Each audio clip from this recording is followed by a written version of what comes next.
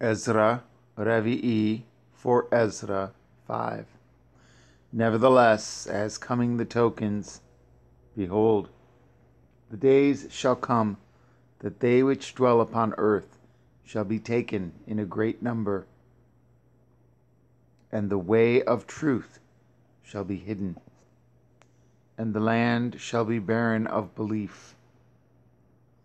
But iniquity shall be increased above that which now you see, or that you have heard long ago. And the land that you see now to have root shall you see wasted suddenly. But if El Elyon grant you to live, you shall see after the third shofar that the sun shall suddenly shine again in the night, and the moon thrice in the day, and blood shall drop out of wood, and the stone shall give his voice, and the people shall be troubled. And even he shall rule, whom they look not for that dwell upon the earth. And the fowls shall take their flight away together. And the and the Sedamish sea shall cast out fish and make a noise in the night which may have not known, rather, which many have not known, but they shall all hear the voice thereof. There shall be a confusion also in many places, and the fire shall be oft sent out again, and the wild beasts shall change their places, and menstruous women shall bring forth monsters. And salt waters shall be found in the sweet. And all friends shall destroy one another. Then shall wit hide itself, and understanding withdraw itself into his secret chamber.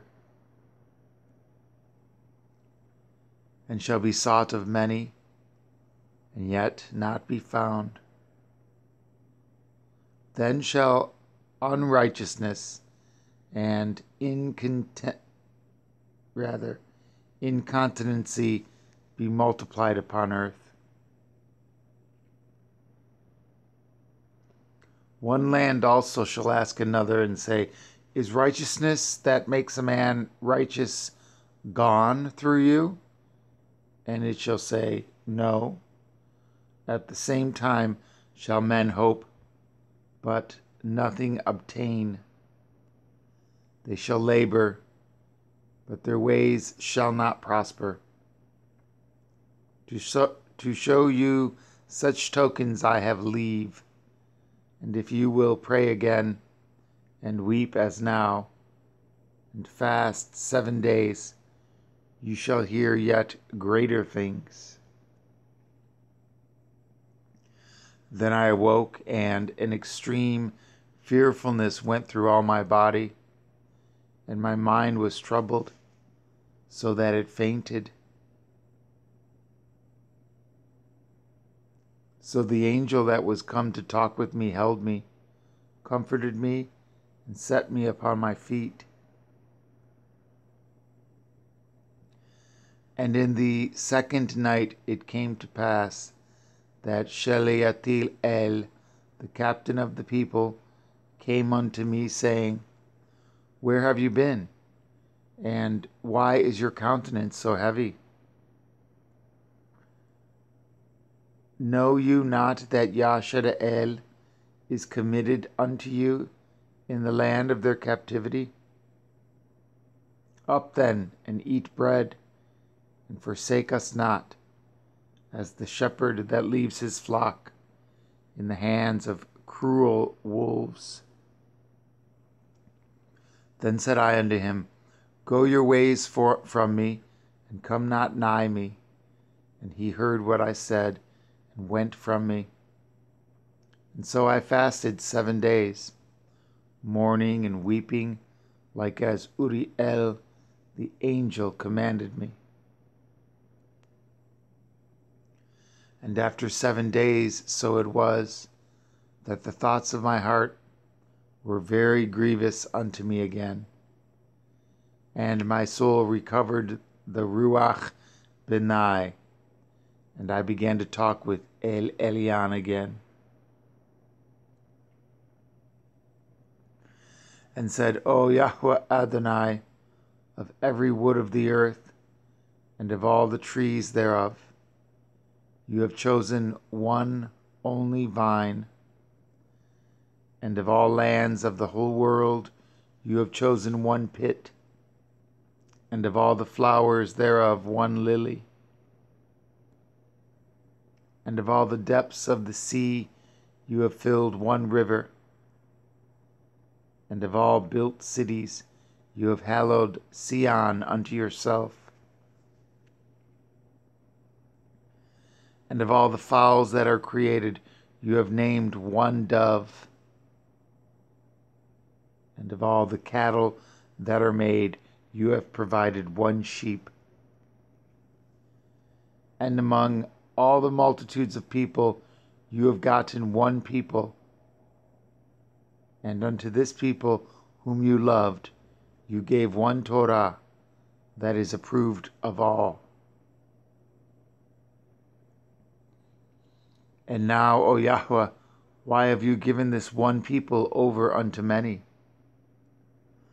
and upon the one root have you prepared others?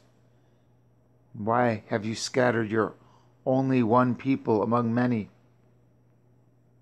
And they which did gainsay your promises and believed not your covenants have trodden them down. If you did so much hate your people, yet should you punish them with your own hands. Now, when I had spoken these words, the angel that came to me the night afore was sent unto me, and said unto me, Hear me, and I will instruct you. Hearken to the thing that I say, and I shall tell you more. And I said, Speak on, my Adonai. Then said he unto me, You are sore troubled in mind for Yashar'el's sake. Love you that people better than he that made them? And I said, No, Adonai, but of very grief have I spoken, for my mind pains me every hour, while I labor to comprehend the way of El Elyon and to seek out part of his judgment. And he said unto me, You cannot. And I said, Wherefore, Adonai? Whereunto was I born then? Or why was not my mother's womb then my grave, that I might not have seen the travail of Yaakov, and the wearisome toil of the stock of Yashar'el? And he said unto me, Number me the things that are not yet come. Gather me together the dross that are scattered abroad Make me the flowers green again that are withered. Open me the places that are closed, and bring me forth the winds that in them are shut up. Show me the image of a voice, and then I will declare to you the thing that you labor to know.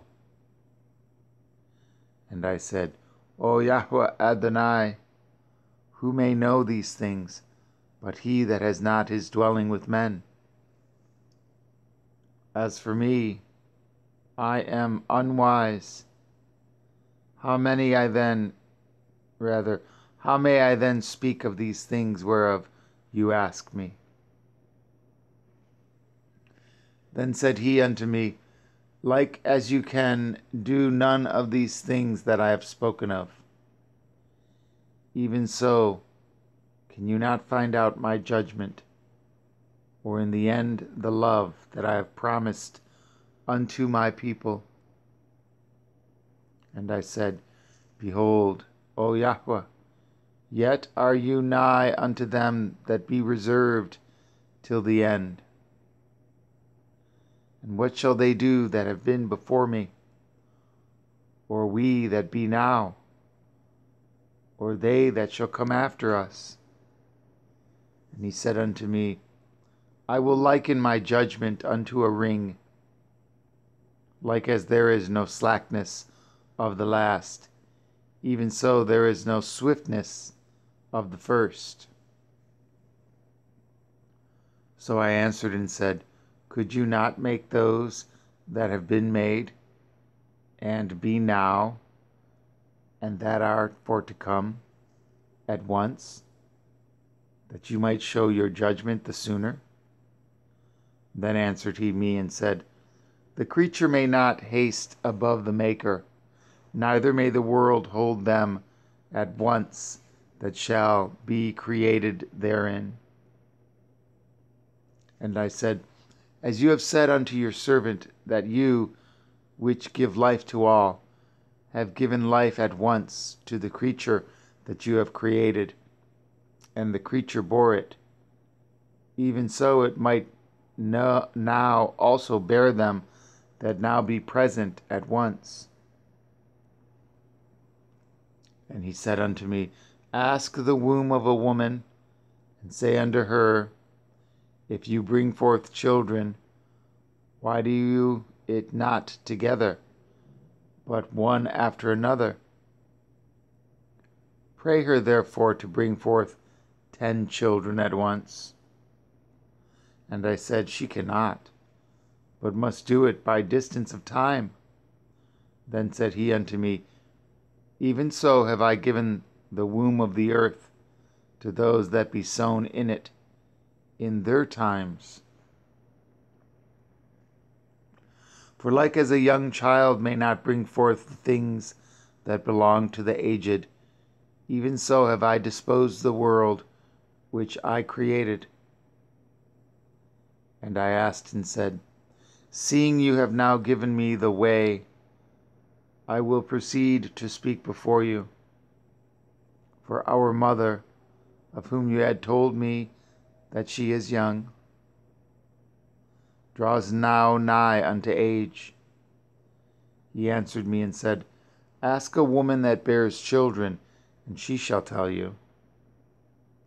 Say unto her, Wherefore are unto they whom you have now brought forth like those that were before, but less of stature? And she shall answer you, They that be born in the strength of youth are of one fashion, and they that are born in the time of age, when the womb fails, are otherwise. Consider therefore also how that ye are less of stature than those that were before you.